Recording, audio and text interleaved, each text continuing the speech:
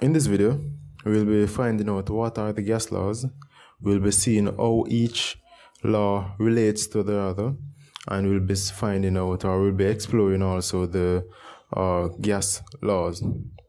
Okay, so since we're since we'll be talking about the gas laws, it would make sense for us to take a quick minute and actually uh, define what a gas is.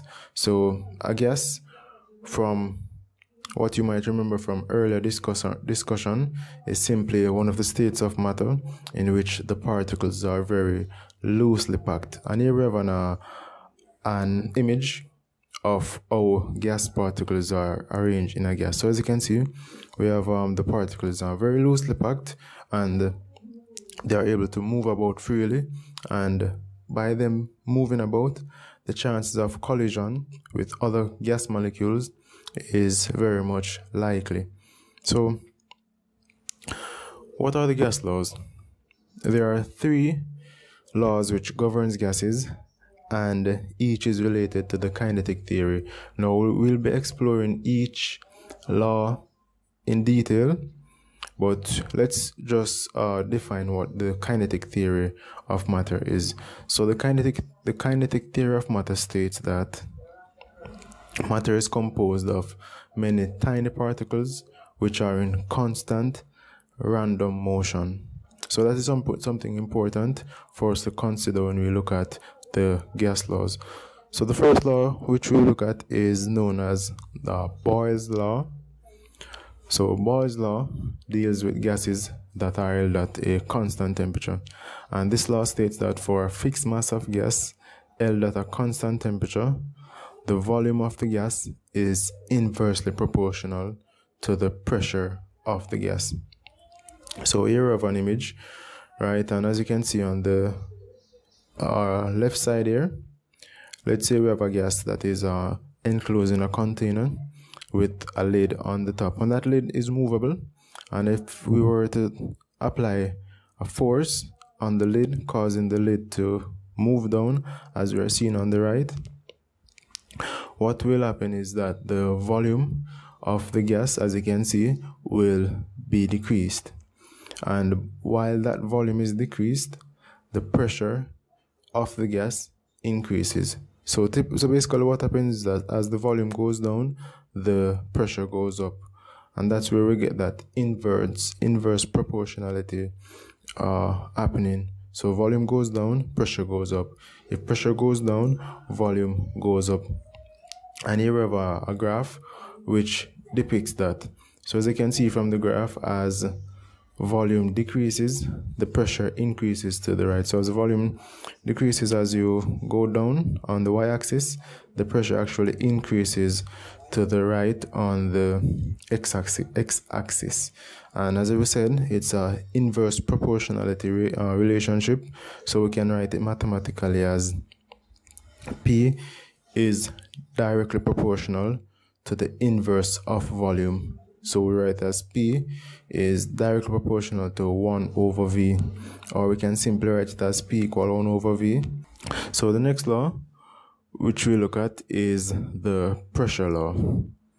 And this law governs gases that are held at a constant volume. And the pressure law states that for a fixed mass of gas at a constant volume, the pressure of the gas is directly proportional to the absolute or the Kelvin temperature.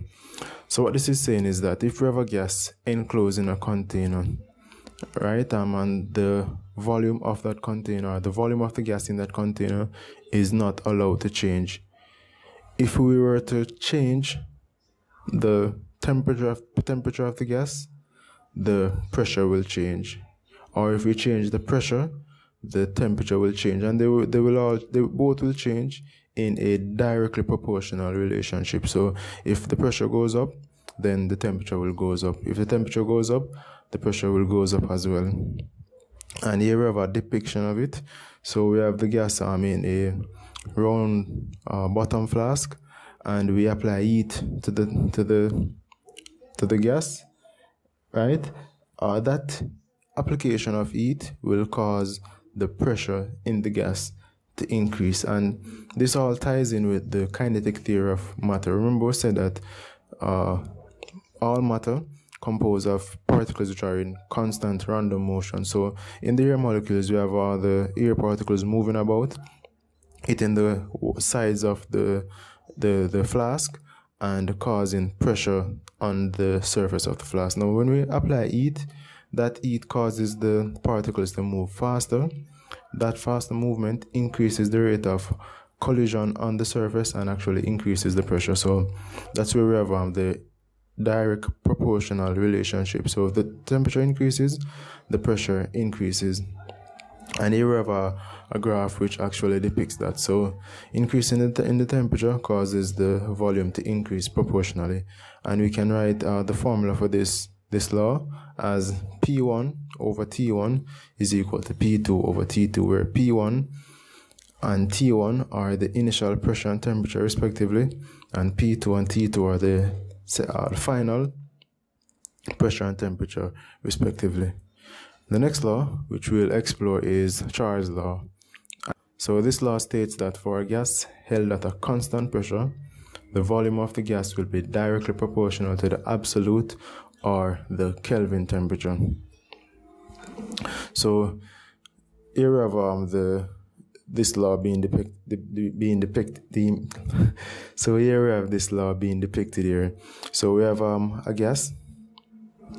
Uh both well we have a gas right? And uh the it is ex- experience a pressure of one atmosphere. And let's say we apply heat to that uh gas. What will happen is that the heat will cause the volume of the gas to increase. And as you can see we increase the temperature from 200 Kelvin to 400 Kelvin, an increase of 2.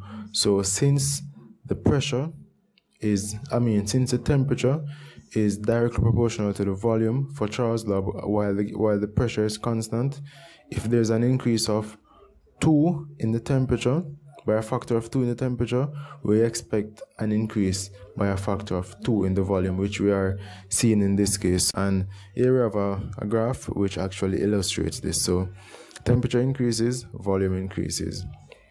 And this is a directly proportional relationship. And we can write this, this uh, formula as V1 over T1 is equal to V2 over T2. Again, where V1 and T1 are the initial uh, volume and temperature, and V2 and T2 are the final volume and temperature. Now we just looked at those uh, three laws. Now we'll be looking at uh, the combined gas equation, which actually uh, put puts together those previous previous three laws. So the gas the combined gas equation is a general equation which captures all the three previously mentioned laws. So the combined gas equation is only true if the earlier mentioned gas laws are true, and it is written mathematically as P1 V1 over T1 is equal to P2 V2 over T2.